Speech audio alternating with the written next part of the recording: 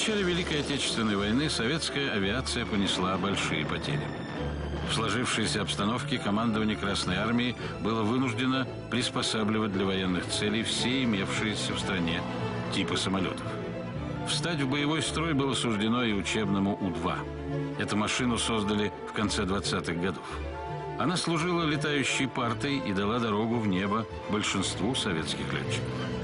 Вряд ли кто-то в первые месяцы Великой Отечественной мог предположить, что этот несерьезный с военной точки зрения самолет вскоре освоит специальность легкого ночного бомбардировщика и станет грозным оружием советской авиации.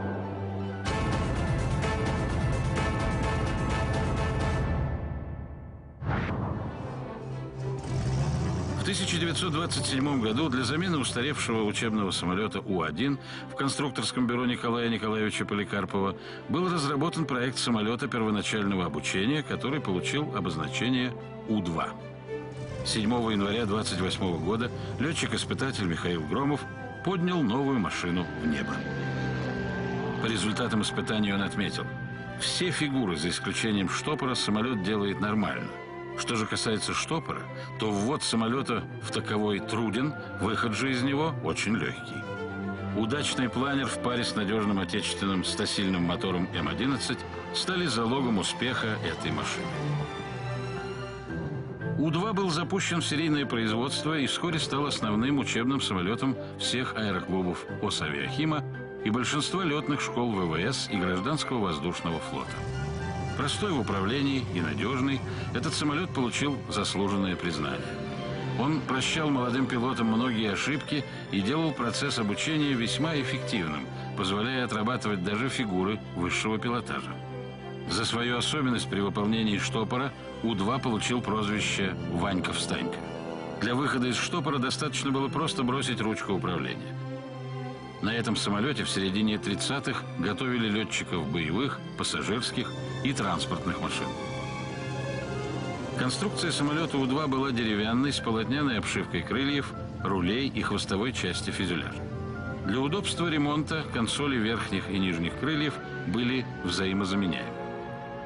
Универсальность, потенциал конструкции, неприхотливость в эксплуатации, простота обслуживания и ремонта позволили широко использовать У-2 в народном хозяйстве. Предвоенные годы, кроме учебного самолета, крупносерийно выпускались его сельскохозяйственный, почтово-пассажирский и санитарный варианты. Летные качества У-2 изменялись в зависимости от того, для каких целей он применялся. Но во всех случаях самолет оставался надежным, легким и послушным в управлении. Благодаря уникальным взлетно-посадочным характеристикам У-2 мог взлетать и садиться на небольшие аэродромы и неподготовленные площадки. Это качество особенно ценно, когда полеты осуществлялись в труднодоступных и неосвоенных районах. К июню 41 года советской промышленностью было выпущено более 13 тысяч У-2 различных вариантов и модификаций. С первых дней войны У-2 стали активно использовать на фронте в роли связных и санитарных самолетов. Что касается боевого применения У-2, то оно началось по инициативе самих экипажей. Известен случай, когда в сентябре 41-го в разведывательный полет летчик захватил несколько мелких бомб и сбросил их на врага прямо из кабины, как это делали еще во времена Первой мировой. Хотя для бомбометания учебный биплан не особенно подходил, но выбирать не приходилось. Его начали переделывать в легкий бомбардировщик на ремонтных заводах и непосредственно на аэродромах. Для этого использовали машины, мобилизованные для нужд Красной Армии. Первый опыт боевого применения новоявленного бомбардировщика показал, что днем он имеет мало шансов на успех. Низкая скорость, отсутствие защиты экипажа и высокая уязвимость для любого стрелкового оружия потребовали пересмотра тактики применения. Переход на действие в темное время суток способствовал увеличению эффективности действий. Формирование первых ночных бомбардировочных полков началось по приказу командования в ноябре 41-го. Поначалу многие советские летчики не понимали, как можно воевать на такой устаревшей машине. Ну за что же это? У-2, да я, да я лучше пехоту. Вы понимаете, что такое У-2? Молоко возить, ну, товарищ генерал, ну за что же это? Ничего, Булочкин, ничего. У-2 теперь на вооружении. Это самолет, как ночной легкий бомбардировщик, большие дела делает. Но постепенно доверие к маленькой фанерной машине росло. Успешное боевое применение переоборудованных самолетов побудило Николая Поликарпова приступить к модернизации ранее военной модификации У-2. Она предназначалась для обучения военных летчиков и строилась серийно до 1936 года. Проанализировав полученный боевой опыт и учитывая особенности этой машины, на ее базе конструкторы разработали новую модификацию – У-2ВС. ВС означает «военный самолет». Машину начали строить серийно с 1942 года. Теперь У-2 официально получил специальность легкого ночного бомбардировщика. Самолет оснастили бомбодержателями, прицелом для бомбометания.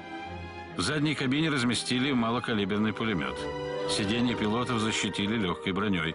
Общее утяжеление конструкции частично компенсировали установкой более мощного мотора. Легкий ночной бомбардировщик У-2ВС. Экипаж – два человека. Силовая установка – поршневой мотор М-11Д мощностью 115 лошадиных сил. Максимальный взлетный вес – 1400 килограммов. Максимальная скорость полета – 134 километра в час. Дальность полета – 450 километров. Максимальная бомбовая нагрузка – 350 килограммов. Вооружение. Пулемет калибра 7,62 мм. Регулярными ночными налетами наши летчики изматывали противника, лишая его сна и возможности перегруппировки. Количество налетов постоянно увеличивалось.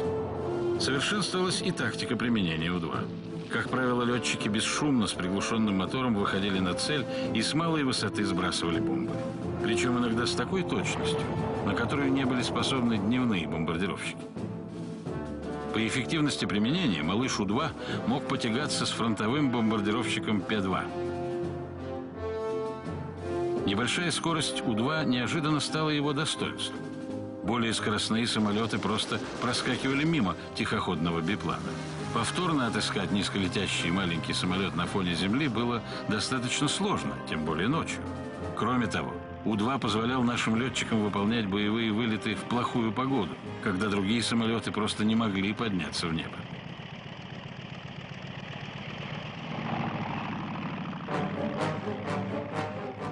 В начале войны гитлеровцы и представить не могли, насколько грозным врагом для них может стать устаревший учебный биплан. Но к лету 43 -го года Арус Фанер, так окрестили у два немцы, был наслышан чуть ли не каждый солдат вермахта. По ночам назойливый стрекот мотора порой наводил ужас на врага. За одну ночь советским летчикам удавалось совершать по нескольку боевых вылетов. Немцы развернули настоящую охоту за нашими бипланами. За каждый сбитый У-2 летчику Люфтваффе был положен железный крест. Выдавали и деньги – 2000 марок, вдвое больше, чем за истребитель.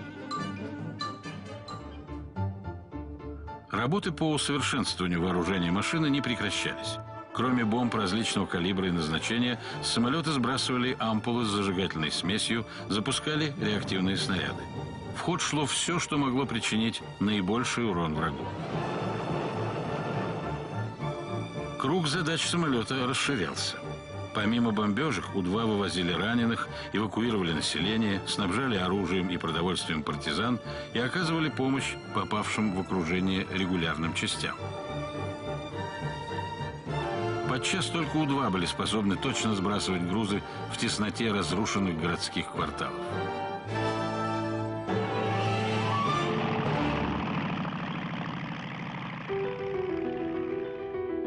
1943 году на фронтах Великой Отечественной уже действовали более 60 полков, вооруженных легкими ночными бомбардировщиками. На счету многих пилотов было не по одной сотне боевых вылетов. Один из полков был полностью женским. Слава о боевых заслугах ночных ведьм, как прозвали наших летчиц немцы, быстро распространилась по всем фронтам. Ночные ведьмы нанесли ощутимый урон противнику, совершив за годы войны 24 тысячи боевых вылетов и сбросив 3 миллиона килограммов бомб.